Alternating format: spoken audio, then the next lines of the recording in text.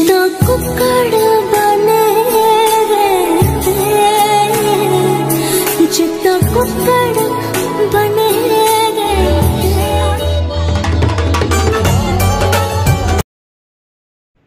everyone good morning Radhe Radhe, कैसे हो आप सभी? Hope you are doing well तो फ्रेंड्स अभी बज रहे हैं सुबह के पाँच और आप देख सकते हो कितनी ज़ोरदार बारिश हो रही है। और मैं सुबह सुबह जग चुकी हूँ आप लोग के साथ ये वीडियो शेयर करने के लिए और आपको बताने के लिए कि अगर आप पतला होने के लिए सीरियस हो तो किन दो चीज़ों को आपको बदलना होगा? जी हाँ फ्रेंड्स, अगर आप सच में पतला होना चाहते हैं ना तो अपने आपको इन दो आदतों को चेंज करना पड़ेगा, तभी आप पतला हो सकते हैं। सो मैं इन्हीं टॉपिक पे आज आप लोग से बात करने वाली हूँ।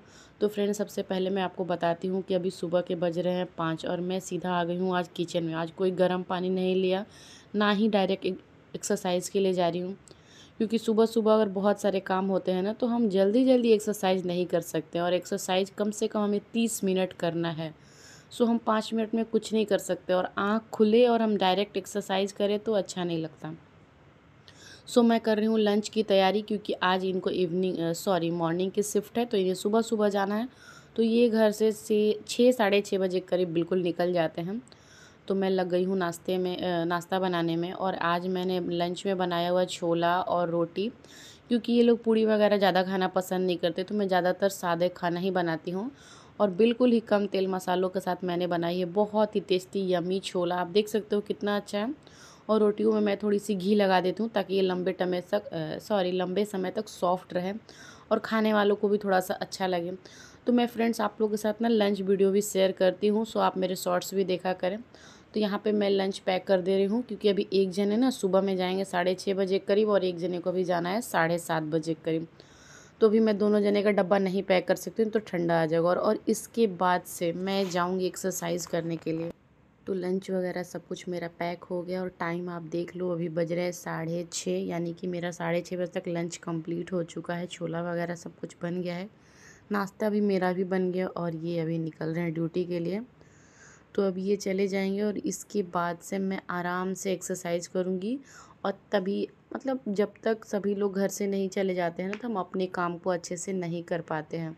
सो so फ्रेंड्स मैं आ गई हूँ अपनी एक्सरसाइज करने के लिए और मैं एक्सरसाइज करीब साढ़े आठ बजे के करीब स्टार्ट कर रही हूँ।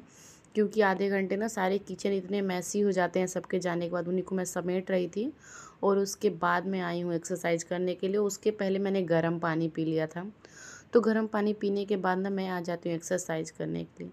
और आपको जो दो आदतों को बदलनी है ना फ्रेंड्स वो यही है। अक्सर हम क्या कहते हैं कि सुबह उठने के बाद ना सबसे पहले हम खाली पेट ना या तो ठंडा पानी पी लेते हैं, नहीं तो हम चाय, कॉफ़ी यही सब लेते हैं। तो आपको ना ये बिल्कुल चाय, कॉफ़ी स्किप करके सीधा आपको गर्म पानी पे आ जाना है या तो जीरा पानी पे आ जाना है या तो अजवाइन पानी पे। तो इन्हीं चीज़ों को आपको चेंज करना है। और दूसरी चीज़ ये है कि आपको अपनी डेली लाइफ में थोड़ा सा एक्सरसाइज इंक्लूड करना ही करना है। ये दो चीज़ों का अगर आप ख्याल रखते हैं ना तो आप सीरियसली मैं बताती हूँ, आप बहुत ही जल्दी वेट लॉस कर सकते हैं। और वेट लॉस करेंगे। और ये क्या है फ्रेंड मैं एक्सरसाइज करने के बाद ना मैं लेती हूँ एक फ़ैट कटर ड्रिंक यानी कि मैं अजवाइन पानी लेती हूँ।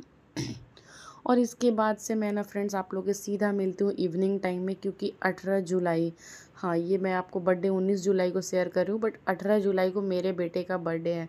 सो मुझे बहुत सारी तैयारियाँ करनी थी, बहुत सारे शॉपिंग करने थे। इसकी वजह से हम तीनों निकल चुके हैं मार्केट के लिए, बाबू भी है।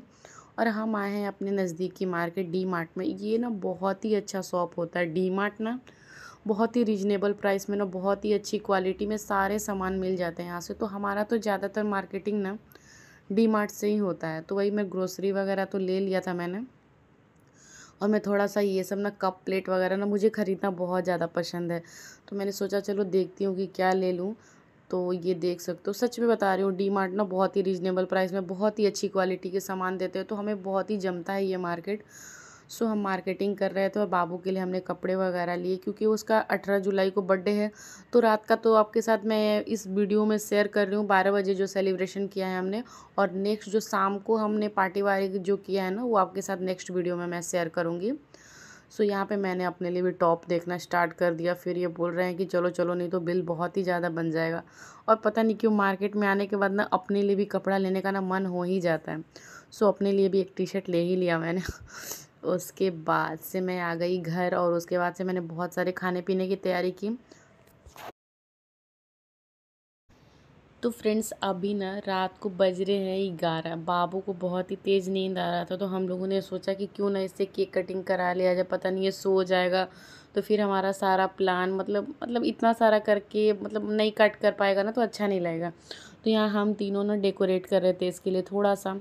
और फ्रेंड्स, मैं आपको बता देती हूँ ना कि हमारे मतलब रिलेटिव में कोई नहीं आ पाए मम्मी, पापा कोई नहीं, क्योंकि हम इतना दूर है ना और सभी लोग गाँव से आना इतना जल्दी पॉसिबल नहीं और हमने सोचा था कि हम गाँव में ही बर्थडे सेलिब्रेट करेंगे। बट गाँव में इतनी ज़्यादा बारिश हो रही है, इतनी ज़्यादा बारिश हो रही है ना और यहाँ मुंबई में भी बहुत तेज़ बारिश हो रही है। सो आना जाना ना ट्रेन में भी बहुत ही पॉसिबल ही नहीं है तो इसीलिए हम नहीं लेकर जा पाए बाबू को। बट हम लोगों ने सोचा कि चलो यहीं पे सेलिब्रेट करेंगे बट ये सब चीज़ें ना फैमिली के साथ बहुत ही ज़्यादा अच्छी लगती है। बट क्या कर सकते हैं, हम इतने दूर हैं कि कोई आ भी नहीं सकता और हम इतनी जल्दी जा भी नहीं सकते हैं। तो कोई बात नहीं, पिछले साल की मैं आप लोग साथ थोड़ी बहुत दो तीन फ़ोटो शेयर कर देती हूँ। तो पिछले साल के बर्थडे में तो बाबू के मामा भी आया था। सब, अब इस बार भी मामा इसका आया था, बट उसका कॉलेज खुल गया तो इसकी वजह से उसको जाना पड़ा। छोटे वाला मामा इसका आया था, बट चला गया वो भी। और जब मैं, हम कुछ सेलिब्रेट करते हैं ना और कुछ हमारे जब घर के कुछ नहीं होते हैं तो हमें उतना अच्छा नहीं लगता। बट बाबू बहुत छोटा है, इसकी वजह से हमें ये सब चीज़ों को अरेंज करना पड़ा क्योंकि अभी ये इतना बड़ा भी नहीं हो गया है कि हाँ हम ऐसे ही नॉर्मली केक कट कर लें। सो हमें बहुत ही ज़्यादा मन था कि बाबू का हम थोड़ा सा बर्थडे अच्छे से करेंगे। तो ये तो है रात के बारह बजे का सेलिब्रेशन हमने रात को इसको केक कटिंग किया। और मैंने आपको एक केक दिखाती हूँ, मैंने बहुत ही छोटू सा केक लेकर इसको आई हूँ इसके लिए, क्योंकि हम अभी चार ही जने इसके चाचू तो अभी ड्यूटी गए हैं, क्योंकि उनकी नाइट की शिफ्ट चल रही है। सो, मैं दिखाती हूँ आपको मैं कितना छोटू सा केक लेकर आती मतलब तीन लोग के लिए बस, हम, बाबू और थोड़ा सा इनके लिए, इनको फ्रिज में रख दूँगी, सुबह में खा लेंगे। आप देखो, कितना क्यूट है सर केक, है ना? तो बस हम यही प्रिपेयर कर रहे थे, सारी चीज़ों को अरेंज कर रहे थे कि हमने इसे केक कटिंग कराएँगे और मैं आपको फाइनल लुक दिखाती हूँ अपने डेकोरेशन का।